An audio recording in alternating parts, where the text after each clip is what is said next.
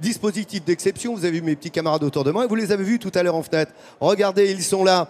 Et regardez, voilà, toute l'équipe est là et eux vont vous faire vivre. Ce sont vos reporters dans le salon tout au long de la semaine. À commencer par Mademoiselle Boucher qui est devenue gâteau. Et alors là, comment vous dire? Hélène, notre veto, raconte-moi un peu. Euh, oui, bien juste pour préciser que je me suis mariée en ce mois de février, c'est le premier Ouais événement du mois de février.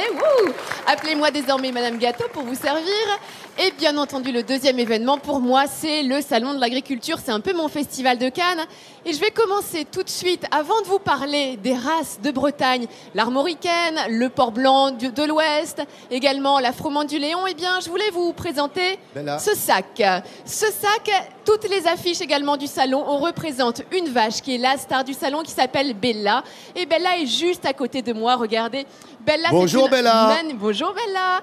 C'est une magnifique vache tarine ou tarentaise qui a 7 ans. Elle pèse 592 kilos très exactement, de couleur fauve, bien maquillée, avec ses jolies cornes en lyre, en forme de lyre avec la pointe noire. Et Bella appartient à Stéphane Tour, qui est son éleveur, qui est fier d'être ici, et d'autant plus fier qu'il nous a ramené les produits que l'on peut avoir grâce au lait de Bella, le fromage, l'abondance, le reblochon, le Beaufort.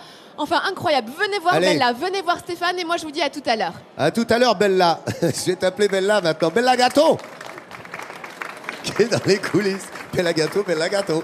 C'est un peu, c'est vrai que c'est le symbole, hein, cette tarentaise qui vient de la Haute-Maurienne, de 600 kilos. Elle est magnifique.